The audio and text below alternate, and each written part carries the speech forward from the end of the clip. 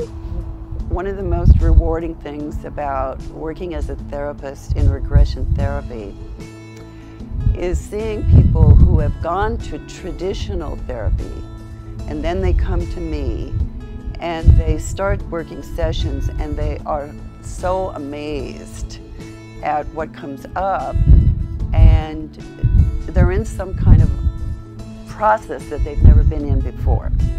And so I think it's um, amazing because it, is, it goes so deep. And I really enjoy doing deep work because I found that that's where the clients really make the changes. I'm not sure if I am able to define work and life differently because this is life for me. So, and uh, it has made me what I am today in the last 10 years from where I see I came and how I have grown. I don't even know if I can say uh, I love regression therapy or I love this work because it's not work anymore. It's a part of my being I, and, and, and I do love myself and my being, so I love regression therapy. For me, the most rewarding for sure was for in first and first moment for myself. That was discovering all the doubts, all the, the, the, the hits and the doubts I had in my life.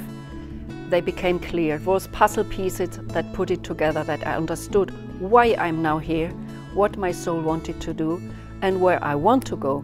So uh, the love or for regression work means that I got my freedom through that regression work. One of the beauties of our field is that you meet clients that by their own nature and their expanded consciousness, you really discover things that you only found in the books.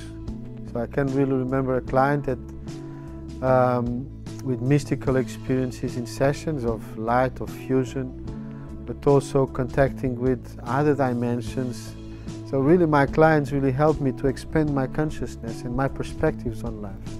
The most beautiful part of my work are the people. When you go inside and see the beauty in every single person, it's beautiful. And I love my work. The emerging of the person, the actualizing the self, the manifestation of the transcendental self, the uh, awareness of the magnitude of the soul. To work with a period, person over a period of time and watch them go far beyond they, they ever thought they could go, that's exciting. The most beautiful thing in regression therapy is uh, the transformative effect it has for other people. It's really uh, very very transformative effect. You can change the life of a person by simply listening to this person and allowing that person to enter to the abyss of his psyche. And uh, this kind of therapy can make that. It makes people grow, become more aware. It's beautiful to see. Beautiful.